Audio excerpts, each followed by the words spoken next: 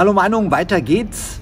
Wieder im Innenhof vom Museumscafé in Regensburg. Wunderschön hier der Ort. Ich sage bewusst nicht Location, der Ort. Mhm. Neben mir sitzt der Uwe Kranz, ja vielen schon bekannt, der ehemalige LKA-Präsident von Thüringen und ein maßgeblicher Gestalter von Europol. Wir sitzen hier zusammen, um Dinge zu besprechen, die da heißen äh, verstärkte Tätigkeiten in Niederbayern, Uwe, schön, dass wir uns mal physisch kennenlernen ja. in den Corona-Zeiten. Mit Kamera ging das ja schon. Mit Kamera ging das schon wunderbar.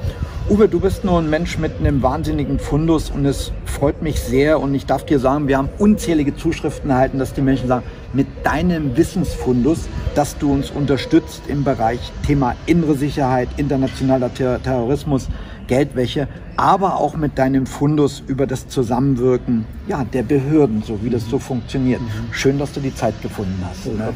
Ich bin gerne dabei, eine tolle Sache. Ich finde das, was du da aufgebaut hast, äh, ja exzeptionell, muss ich wirklich sagen, weil hier baut sich eine neue Ebene auf, eine APO, einer außerparlamentarischen Opposition, die die Dinge benennt, die benannt werden müssen, aber in unserer Medienlandschaft nicht mehr vorkommen. Und genau das ist der Punkt, dass hier äh, die Finger in die Wunden gelegt werden. Die, das, das, muss sein und da bin ich also bei dir. Da, bin, da unterstütze ich auch. Gerne. Das ist schön zu wissen und das gibt uns auch die Stärke und den Wind unter den Flügeln. Uwe, jetzt haben wir ja viele Menschen, die ja ebenfalls in Amt und Würden waren, die ja eine Menge zu berichten haben. Denn ich meine, man kann ja nicht verhehlen, im Laufe der vergangenen Jahrzehnte, nicht bloß unter Merkel-Zeit, haben sich ja verschiedene Strukturen herausgebildet, die ja doch ein hohes Maß an Komfort entwickelt haben. Komfort bedeutet, da sagen wir, ich bin in der Position, da kenne ich den, ich habe den da hingesetzt.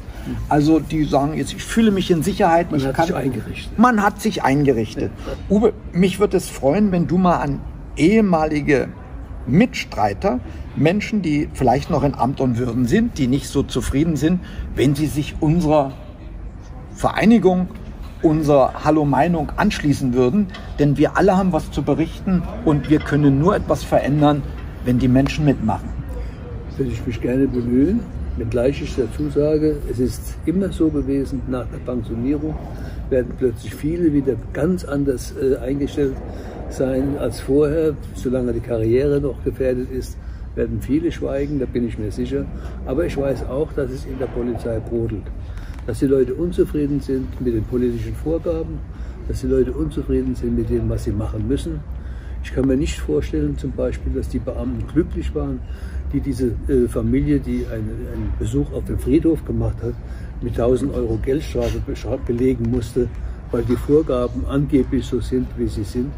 Also das sind Sachen, da muss ein Polizeibeamter nicht äh, unbedingt den Buchstaben des Gesetzes äh, befolgen bis zum TZ, da muss auch ein Ermessen möglich sein, das ein gewisses Maß an Humanität noch hat und ein gewisses Maß an Normalität und ein gewisses Maß an Verstand.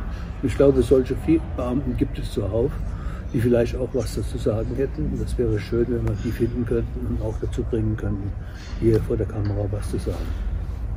Ja, ich kann mich dem nur anschließen, wäre schön. Das heißt also, wenn ihr noch im Dienst seid, wenn ihr irgendwas zu berichten habt, auch Seid dabei. Auch anonym. Auch anonym. Wir behandeln ja. selbstverständlich solche Sachen. Wir bekommen am Tag 1000 Mails und wir berücksichtigen natürlich jede Art von äh, Diskretion und das wird auch ganz, das ist auch sichergestellt, dass das nicht rauswandert. Und auch jetzt hier mal ans BMI, da gab es ja dieses bewusste Schreiben, oh, auch ja. darüber äh, muss doch Berichtenswertes ans Tageslicht kommen. Also ich sage herzlichen Dank sei dabei, aber ihr seht aus der Graswurzelbewegung, es ist nicht nur Gras, sondern die Pflanze nimmt eine schöne Form an und wir werden wachsen. Das heißt also, zum einen werden wir dafür sorgen, dass genügend Wasser kommt und auch genügend Sonnenlicht dass wir wachsen. Uwe, herzlichen Dank, dass du dabei bist. Ne? Danke. Okay, ne? Wir waschen nur nach die Hände, wir desinfizieren ja. uns. Nicht, dass wir Anzeigen kriegen. Danke. Ne?